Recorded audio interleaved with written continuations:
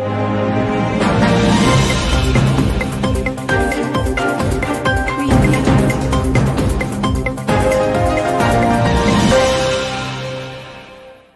శ్రీకాకుళం జిల్లా కొత్తూరు మండలం నాలుగు రోడ్ల ఆవరణలో పాతపట్నం నియోజక ఎయిమ్స్ కన్వీనర్ చుక్క రాంబాబు ఆధ్వర్యంలో ర్యాలీ నిర్వహిస్తూ అవగాహన సదస్సు నిర్వహించారు. దీనికి ముఖ్య అతిథిగా రాష్ట్ర నాయకులు ఎం సామ్యూల్ సుధాకర్ ప్రసంగిస్తూ హరిజన కులంలో పుట్టిన ప్రతి వ్యక్తి అంబేద్కర్ యొక్క ఆశయాలలో నడవాలని కలిసికట్టుగా ఉండాలని ఎవరైనా దళితుల అభ్యున్నతిని విస్మరిస్తే ఉద్యమించాలని పిలుపునిచ్చారు. చివరిగా సీనియర్ నాయకులు జమ్మయ్యకి సన్మానం చేశారు. ఈ కార్యక్రమంలో జిల్లా నియోజక అధ్యక్షులు వివిధ మండల కన్వీనర్లు యువతీ యువకులు కొత్తూరు మండల కన్వీనర్ నర్సారిపల్లి ప్రసాద్ వారి అనుచరులు పాల్గొన్నారు.